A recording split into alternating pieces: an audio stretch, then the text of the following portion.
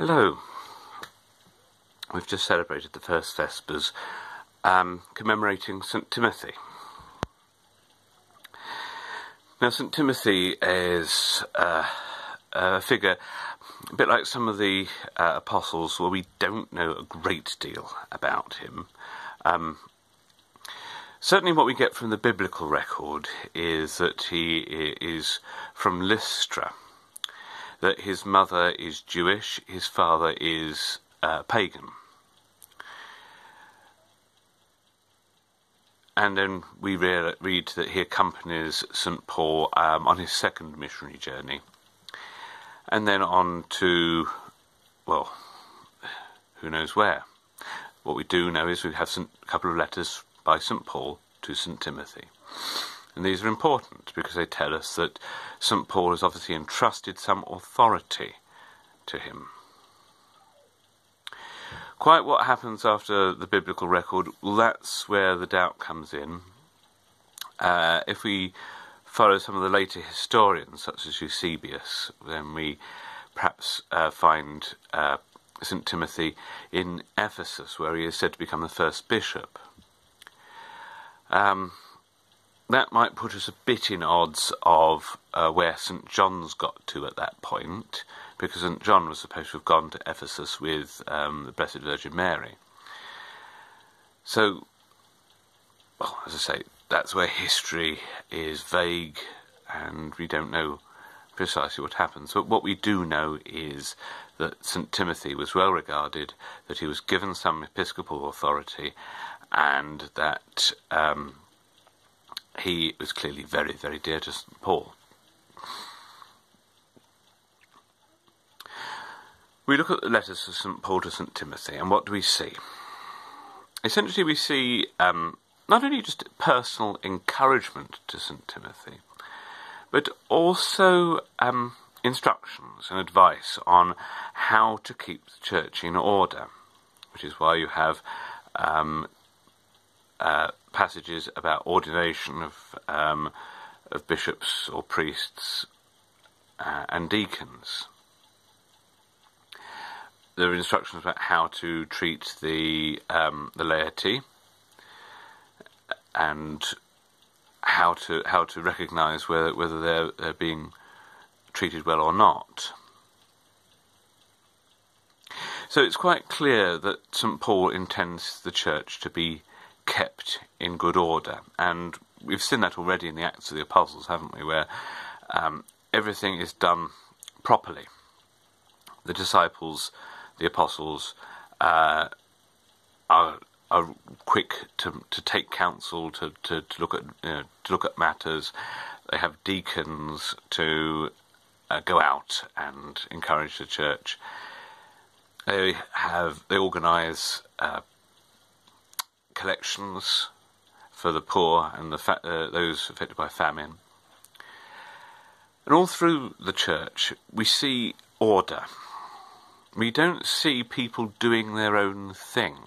Indeed, uh, for example, we see people doing their own thing uh, in Ananias and Sapphira uh, who come to, to bad ends because they, in their case, they are not giving of themselves honestly. They want to do things their way and are dishonest about it.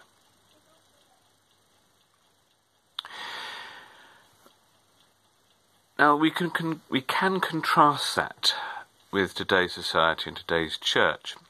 Uh, there was um, some talk about 30 years ago of the idea that there were multiple Christianities and that Orthodox Christian belief was just one among uh, several valid Christianities.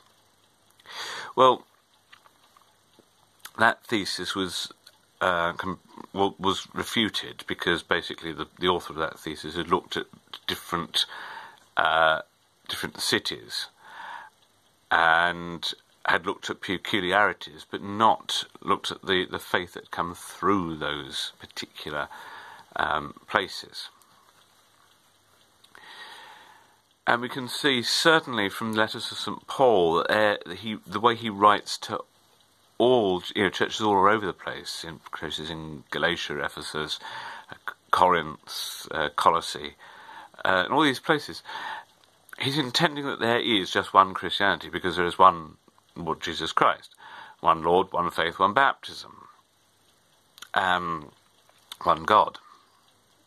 And you can hear you can hear that in the, the letter to Corinthians, where he's saying, you know, that you, look, is Christ divided? There is one orthodoxy. There is one Christianity. There's not um, one among many valid interpretations. And that's where we do have to be careful, because personal choice, certainly in the early church, well, the Greek for personal choice becomes the word we understand today as heretic, which is not a polite word uh, in today's society, particularly in, in today's church society.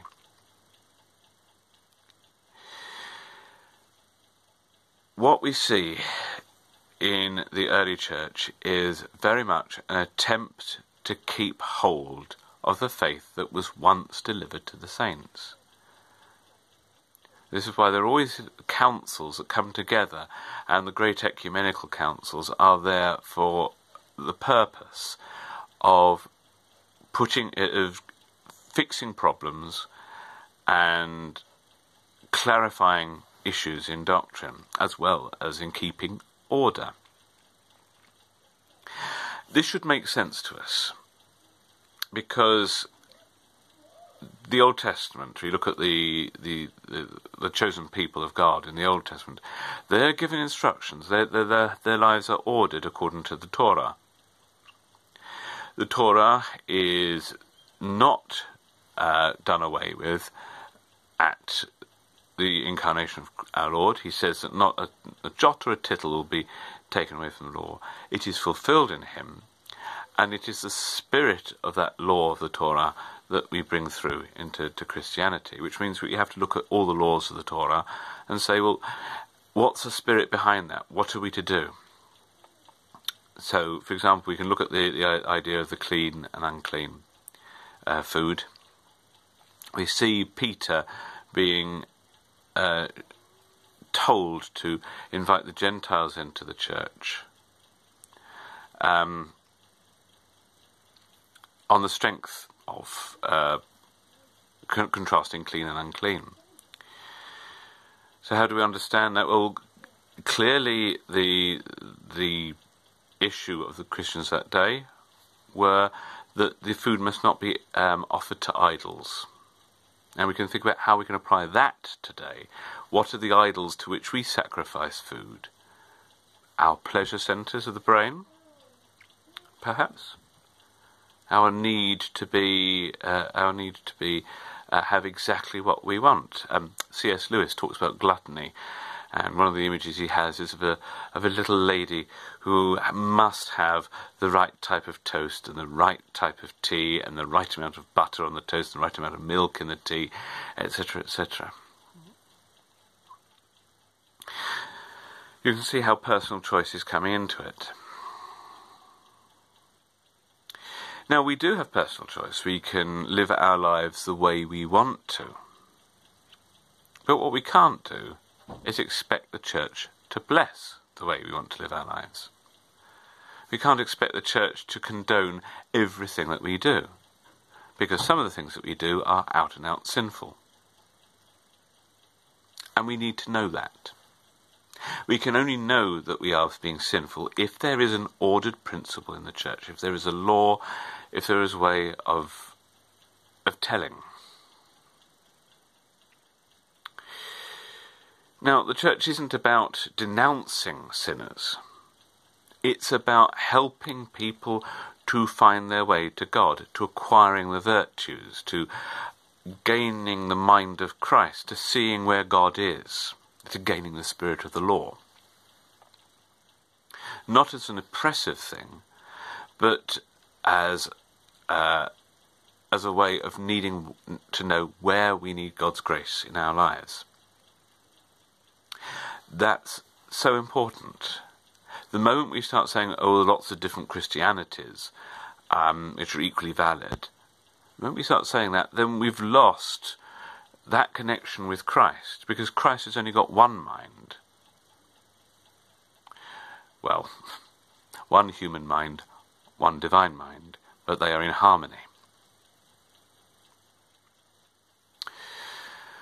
So that is why we have to be very careful about what we what we encounter where people baptize their own decisions and their choice and their freedom of choice.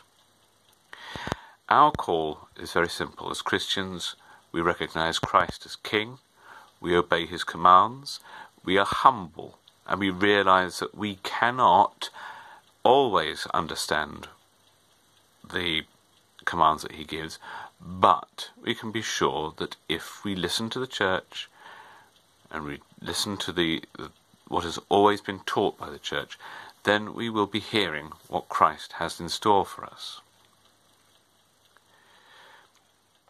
And that takes some doing. It means that we have to be faithful. It means we have to be prayerful. It means we have to be studious. But we, but we can, with God's grace, we can do it. We can hear God. We ha- can hear God. We can come near to Christ because that is what He promises.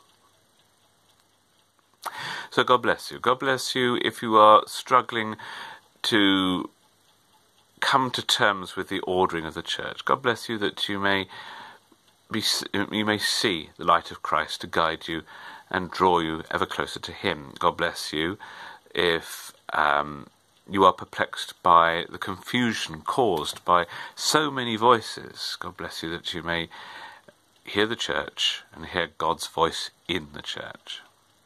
God bless you, that you may join the ordered ranks along with St. Timothy and St. Paul and all the other saints in glorifying our Lord Jesus Christ for eternity. God bless you, and please pray for me.